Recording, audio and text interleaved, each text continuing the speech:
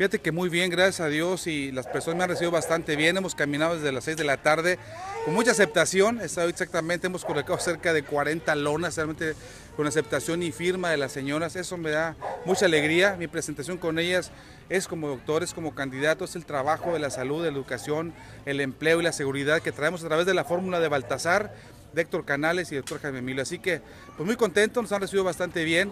Viene mi equipo trabajando, tocando puertas, y es como debe de ser, dando la cara y el compromiso de frente por lo que vamos a hacer. Así que yo como médico de 27 ellos pongo pues mi experiencia, pongo mi vocación al servicio de la gente y quiero seguir trabajando siempre con la firme convicción de apoyar a los que menos tienen y apoyar mucho en salud. Sí, fíjate que hemos encontrado eh, en ciertas áreas de ciertas colonias, ¿no?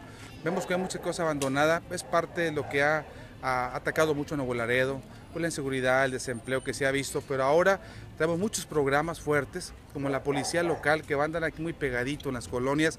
Esto va a una seguridad fuertemente a, pues a las empresas, a los oxos, a que el, empleo que se va a, hacer a través de traer maquiladoras bien pagadas, prometió nuestro candidato gobernador trabajar fuertemente para que lleguen maquiladoras aquí, que se implanten con un menor costo desde los prediales de impuestos para que lleguen y les sea conveniente, que les convenga asentarse aquí en Nuevo Laredo. Así que eh, la salud ya me dijo que nos va a apoyar fuertemente en lo que es el medicamento, la salud, así que vamos a trabajar a ponerle esa cereza a los centros de salud, el tratamiento de las urgencias, que no falte el medicamento.